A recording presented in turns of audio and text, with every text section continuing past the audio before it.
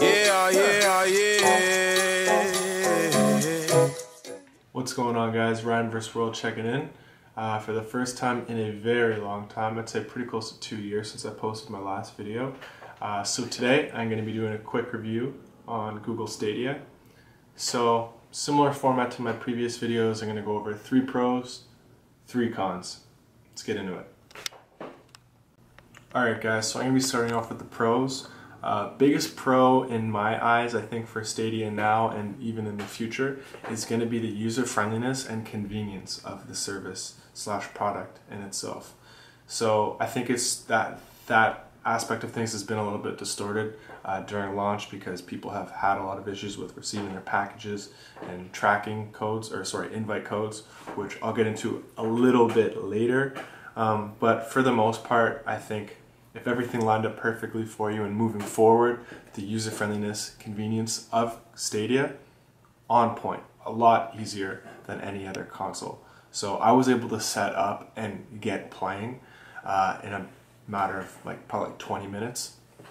So as long as it took me to actually open up my package, sign up for my account with my invite code, and then I was able to access a whole variety of games that they offered and actually start playing live in time very quickly. So that in itself is pretty awesome.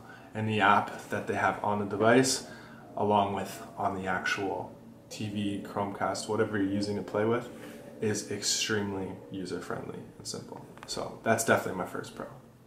Pro number two for me is definitely going to have to be the controller. Uh, so I was actually extremely surprised by the fact, or I was extremely surprised with how premium this controller feels. So it's almost like a mix of the Xbox controller, Xbox One controller, and the PS4 controller. Uh, so Xbox layout in terms of like buttons and stuff like that, and then PlayStation in terms of the actual feel and the way it rests in your hand. So yeah, very awesome. Works perfectly for me. I've got relatively big hands. Anyways, um, it's got an awesome matte finish. I think all of the colorways have that matte finish. Uh, nice USB-C charging uh, which is extremely convenient in terms of like charging speeds and like being able to get this thing up and going quick.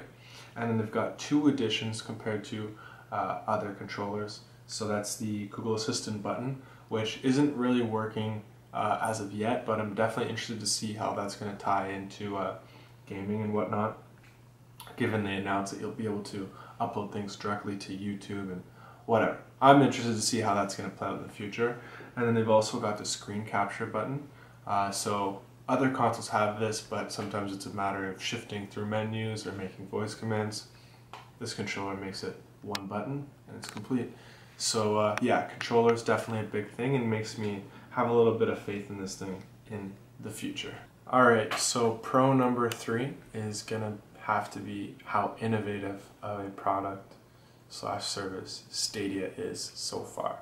So I'm going to touch on this point um, more at the ending of my video um, when I'm kind of closing things off. But uh, without the launch of Stadia, I mean, there wouldn't be nearly as much pressure as there is currently on Microsoft and Sony uh, to really uh, progress things and change up and, and innovate, I guess you could say. So I definitely think that it's a it's a benefit to all gamers, uh, whether or not Stadia ends up being a big hit, as uh, the Sony's, Microsofts of the world are going to be putting a much bigger focus on this uh, cloud streaming uh, gaming service front moving forward. So definitely a big win and a pro in my eyes. But cons, cons, cons, cons, cons. Con number one is definitely lag and latency. Um, so let me start by telling you that I have been playing on my phone, um, P4, which is compatible with the launch so far. Um, and then I've been playing off of the Chromecast on my TV. Long story short, phone, no lag, TV slash Chromecast, good amount of lag. I think that's for two different reasons. Uh, three, actually. One is being the time I'm playing in a day. So, you know, you live in an apartment, things tend to slow down at peak hours. Uh, two is my internet speed to begin with. I've got 50 up and 50 down. I need to call my service provider and actually fix that because that's not going to work moving forward. Also, make sure you have unlimited uh, unlimited usage because if you don't, you'll get a very expensive bill. Um, number three is I think that the screen size and stuff like that has to play with it. Uh, you know, on my phone, it's obviously a much smaller uh, device, so the requirements in terms of like internet speed that's needed, I feel like, is a lot less. Um, so yeah, lag, latency, big deal, uh, especially for people that are gamers right now and expect these high resolution games to load free, uh, like very flawlessly. Uh, that won't necessarily happen all the time with Stadia. Uh, so yeah, definitely a big deal and con number one for me.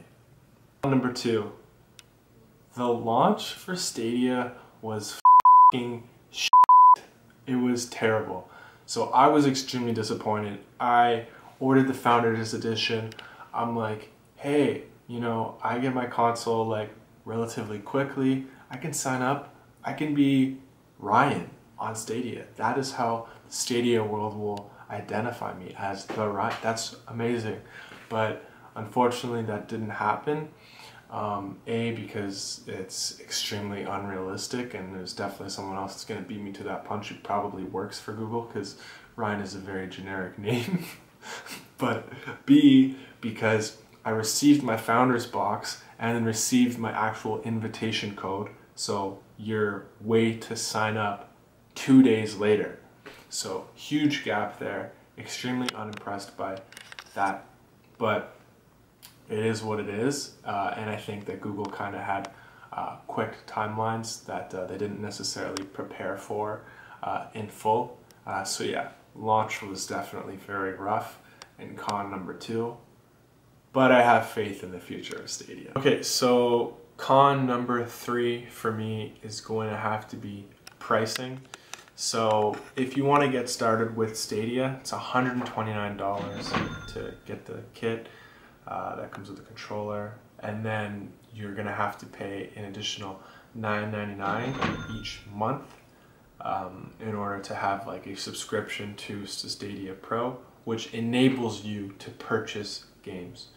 Uh, there's a couple that are free each month and a couple that are discounted, but aside from that, the big titles you typically have to purchase. So I think that this has been a pretty big turnoff for uh, most consumers who would even consider switching from an Xbox to a PlayStation, even though uh, relative to those uh, those two consoles upfront costs and like uh, live and online monthly costs, it's a lot cheaper. I think that um, Google was a little bit uh, misleading with how the pricing model works. Uh, and definitely has to be a little bit sweeter if they want to you know, really steal share from those two big runners, especially with how things have been panning out so far. All right, so all in all, I've been extremely happy with uh, the Stadia so far. Yes, there's been a couple hiccups uh, with the launch, but I think that's to be expected. Um, so far, I've played Destiny, and then there's this Mortal Kombat-esque game I also downloaded Assassin's Creed Odyssey, which was part of the Stadia Pro package. Uh, that is like discounted for 40 bucks uh, Canadian. Uh, so yes, there's been a little bit of lag here and there, but you know I can I can deal with it. Maybe that's because I don't play like high res games all the time, um, and I'm relatively patient. But it it's something I can get a, I can get over, and I think is definitely going to improve in the future.